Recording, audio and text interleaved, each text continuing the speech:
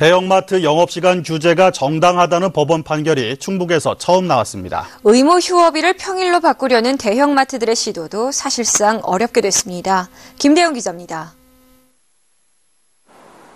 지난 2013년 12월 홈플러스는 영업시간 제한과 의무 휴업일 지정을 취소해달라며 당시 청원군을 상대로 소송을 냈습니다.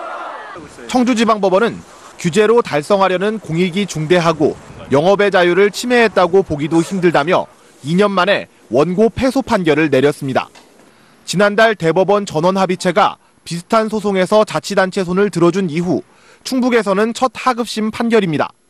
헌법에 위반된다고 보기 어렵고 어, 그 법률에 기초한 영업시간 제한 등 처분이 재량의 범위를 벗어났다고 보기도 어렵다고 본 판결입니다.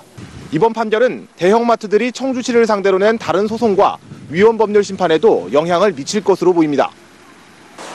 전통시장 상인들은 당연한 판결이라고 환영했습니다. 강자 입장에서 예? 약자라는 그 부분에 대해서도 조금은 생각해 줄 수 있는 그런 마음을 가졌으면 좋겠어요. 대형마트에서. 법원의 이딴 판결에 따라 의무 휴업일을 일요일에서 평일로 바꿔달라는 대형마트들의 요청도 사실상 무산될 것으로 보입니다. 영업시간 규제를 둘러싼 법적 분쟁이 마무리되며 중소상인 경쟁력 강화라는 또 다른 숙제가 남게 됐습니다. MBC 뉴스 김대웅입니다.